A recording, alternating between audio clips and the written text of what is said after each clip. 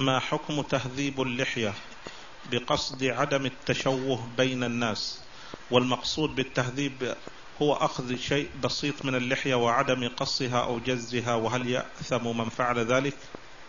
اللحية هذبها الله جل وعلا خلقها جميلة ولا تحتاج إلى تهذيب تحتاج إلى إعفاء وإكرام وإرخاء وإرسال كما جاءت بذلك الأحاديث.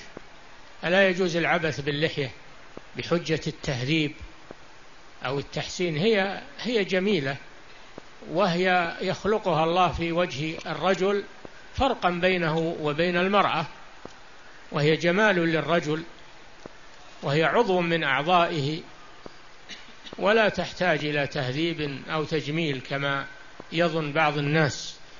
نعم.